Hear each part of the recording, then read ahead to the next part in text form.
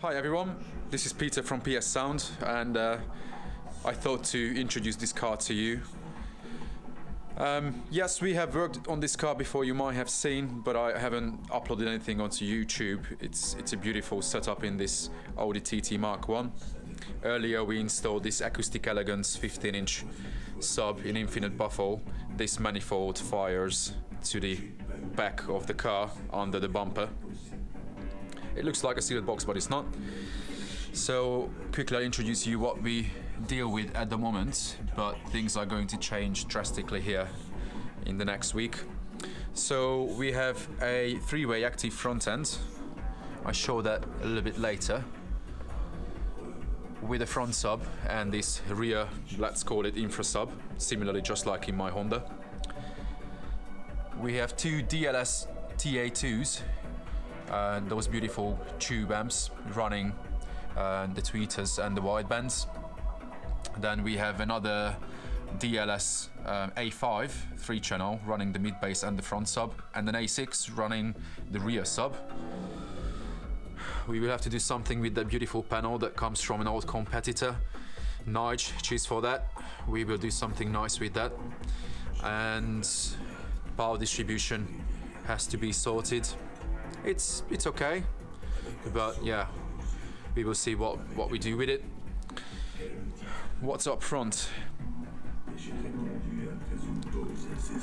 There's a Dynaudio, the Esotar mid bass up front, using the door.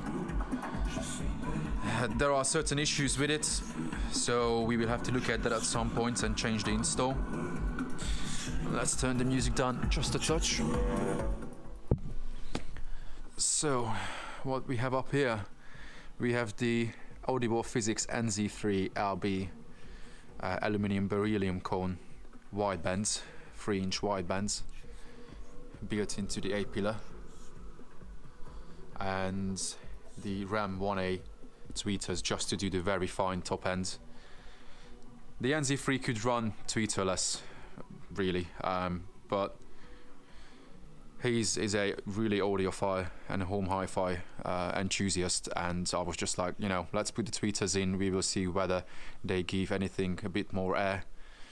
And yeah they they do the trick and it's it's lovely. Then we have the Pioneer P90 currently running as a CD player with the DAC in the back.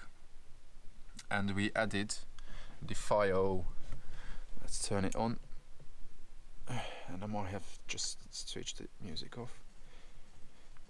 And we have the FiiO X5 third generation player currently linked into the P90 but we are going to change it with the Helix DSP Pro so the FiiO high-res player can run into the Helix processor directly and then we have no link and digital to analog conversion and back into digital again.